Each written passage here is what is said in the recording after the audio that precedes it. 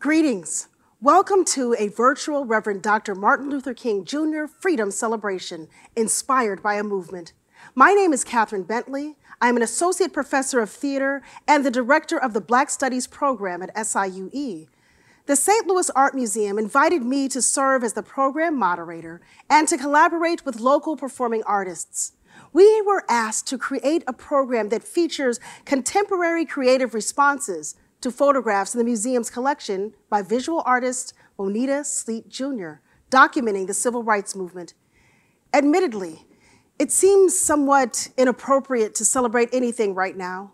Our world, our country is in the midst of two pandemics one, a tragic health crisis, and the other, an ugly resurgence of continued racial hatred.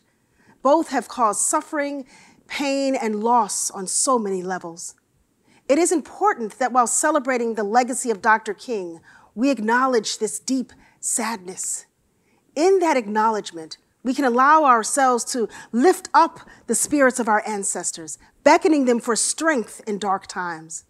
In honor and gratitude to the resilience of our ancestors, I invite you to celebrate the brilliance of Black excellence. I believe that you are in for a transformative experience. I am privileged to present to you three of St. Louis's phenomenal performing artists who have created thoughtful and engaging works inspired by the photography of an iconic figure.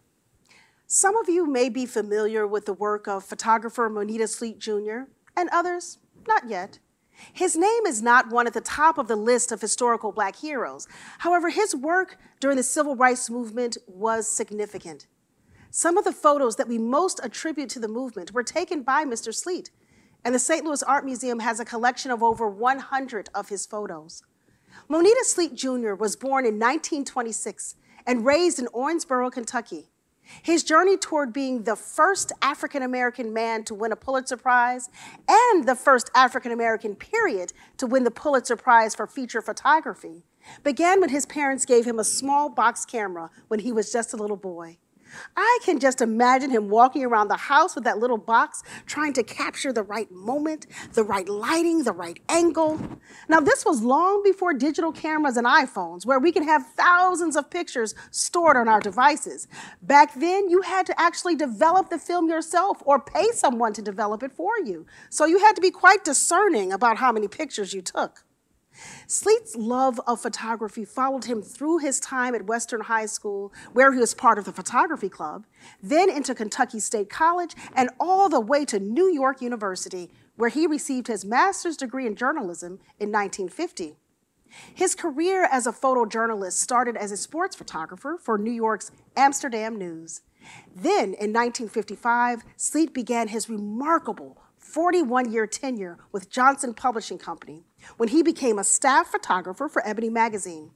Here, Sleet became entrenched in community activism by being on the front lines of historic events of the civil rights movement.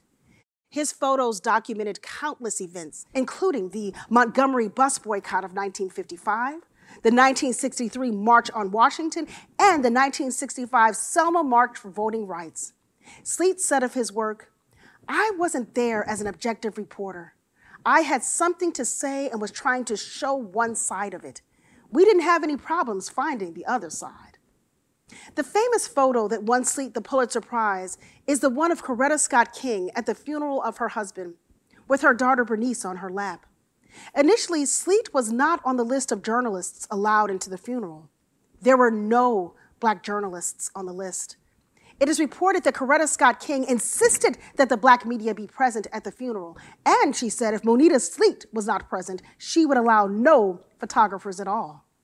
This was a testament to Sleet's relationship with the King family and his commitment to not only documenting the movement, but truly being an active participant in the movement.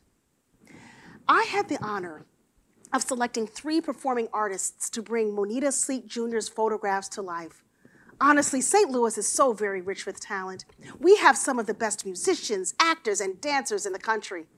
The performing artists featured in this virtual program, Heather Beal, Anita Jackson, and Joel P.E. King, are masters of their craft. Like Moneta Sleet Jr., this trio of arts activists utilize their artistry to bring light to the social and political issues of our time.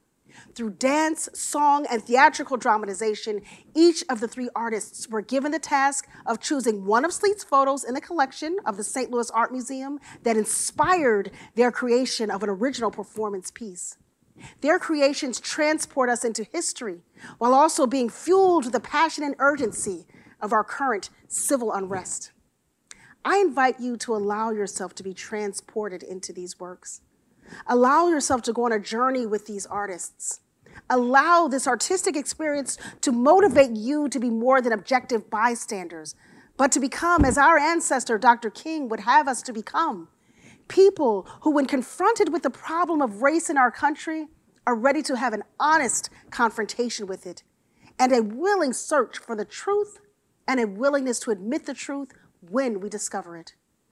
It is my honor and privilege to present to you the St. Louis Art Museum's Inspired by a Movement, featuring the works conceived and performed by Heather Beal, Anita Jackson, and Joel P.E. King, and reflections on behalf of the Epsilon Lambda chapter of Dr. King's fraternity, Alpha Phi Alpha, by Marcus A. Creighton.